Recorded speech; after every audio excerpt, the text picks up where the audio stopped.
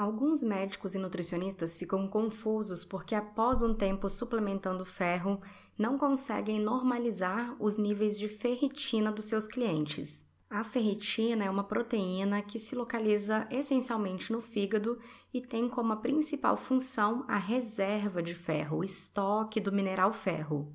E o que acontece é que quando o fígado está sobrecarregado, realmente, mesmo suplementando ferro, muitas vezes a ferritina não sobe.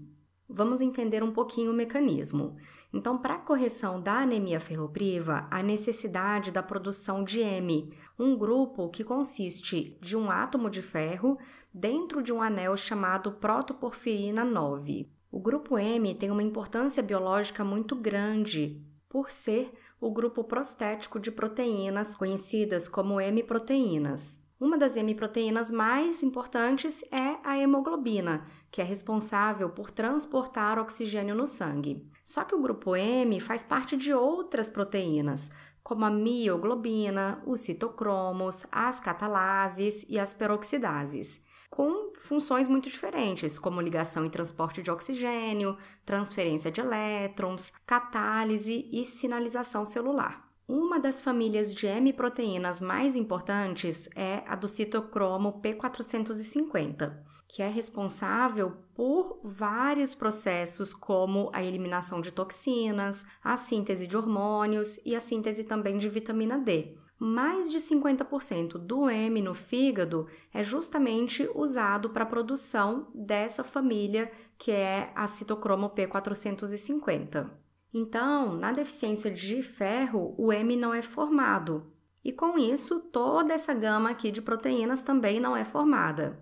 E por que que o M pode não estar sendo formado? Justamente pela sobrecarga do fígado. O fígado fica sobrecarregado em caso de viroses, em caso de consumo excessivo de álcool, consumo excessivo de açúcar, alimentos com pesticidas e com o uso de uma série de medicamentos.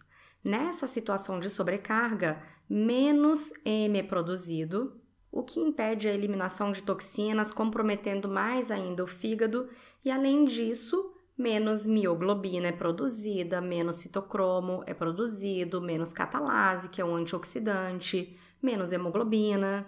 E no caso de chegar ferro ao fígado e o fígado conseguir produzir o M, como eu falei, a maior parte vai ser convertido então na família de citocromos P450, justamente para tentar desintoxicar não só o fígado, mas o organismo inteiro. É por isso então que nessa situação de sobrecarga hepática a recuperação da anemia é mais demorada.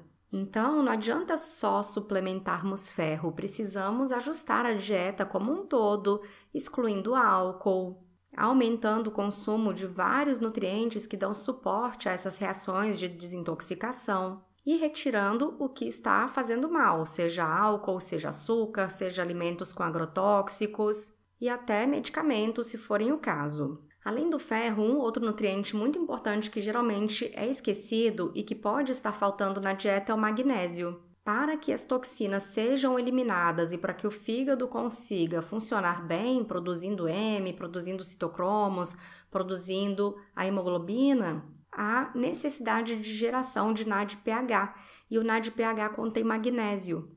Então, uma pessoa que toma um medicamento e passa mal com esse medicamento, tem reações de intolerância ou mesmo de intoxicação, na verdade não é porque necessariamente ela não se dê bem com aquele medicamento, mas pode ser justamente que ela esteja com deficiência de magnésio e aí ela não consegue produzir NADPH, não consegue eliminar as toxinas mesmo tendo o citocromo P450 mesmo que essa família esteja presente. E o magnésio está presente em vários alimentos. Eu tenho um vídeo sobre o magnésio, mas um grupo que é bem rico em magnésio é a dos vegetais verdes escuros.